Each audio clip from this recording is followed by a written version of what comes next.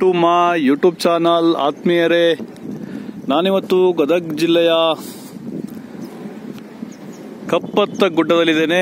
ಕಪ್ಪತ್ ಗುಡ್ಡ ಅಂದ ಕೂಡಲೇ ನೆನಪಾಗುವಂಥದ್ದೇ ನೋಡಿ ವಿಂಡ್ ವ್ಯಾನ್ಗಳು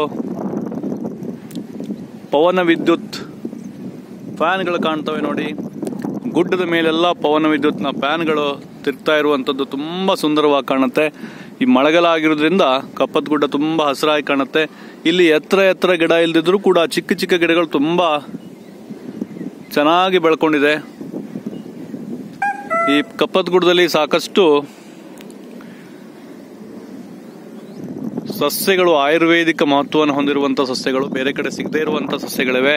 ಹಾಗೆ ಮೊನ್ನೆ ಮೊನ್ನೆ ಅಷ್ಟೇ ಅರಣ್ಯ ಇಲಾಖೆಯ ಸರ್ವೆಯಲ್ಲಿ ಸಾಕಷ್ಟು ಪ್ರಾಣಿಗಳ ಇರುವಿಕೆ ಕೂಡ ಪತ್ತೆಯಾಗಿದೆ. ಹೈನ ನಾಲ್ಕು ಕೊಂಬಿನ ಜಿಂಕಾರ, ಆಮೇಲೆ ಬ್ಲ್ಯಾಕ್ ಬಕ್, ಇಂಥ ಹಲವಾರು ಚೀತ, ಹಲವಾರು ಪ್ರಾಣಿಗಳು ಇರುವಂಥದ್ದು ಕೂಡ ಇಲ್ಲಿ ಪತ್ತೆಯಾಗಿದೆ. ಈ ನೋಡಿ, ಕಪ್ಪತ್ ಗುಡ್ಡದ ತಪ್ಪಲಿನಲ್ಲಿರುವಂಥ ಹೊಲಗಳು ಹೇಗೆ ಕಾಣ್ತಾ ಇವೆ? ಎಲ್ಲ ಹಸಿರಾಗಿದೆ. ನೋಡಿ, ಅಲ್ಲಿ ಒಂದು ಕಡೆ ಕಪ್ಪು ಕಾಣ್ತಾ ಇದೆಯಲ್ಲ? ಕುರಿಗಳು ಮೇಯ್ತಾ ಇವೆ. ಉತ್ತರ ಕರ್ನಾಟಕ ಅಂತಂದ್ರೆ ಕುರಿಗಳು ಕಾಣಲಿಕ್ಕೆ ನಮಗೆ ಸರ್ವೇ ಸಾಮಾನ್ಯ.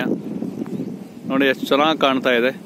ಈ ಕಪ್ಪತ್ ಗುಡ್ಡದ ಸಾಲುಗಳ ಮಧ್ಯದಲ್ಲಿ ಹೊಲಗಳು. ನೋಡ್ರಿ, ಇಲ್ಲೊಂದು ಊರು ಕಾಣ್ತಾ ಇದೆ, ಮಧ್ಯದಲ್ಲಿ ಚಿಕ್ಕ ಚಿಕ್ಕ ಊರುಗಳು.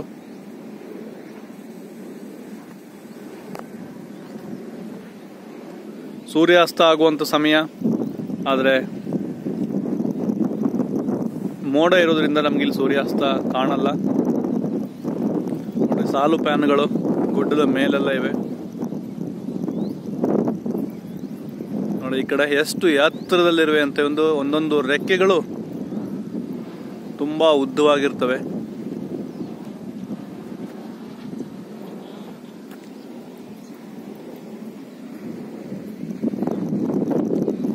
Okay thank you bye bye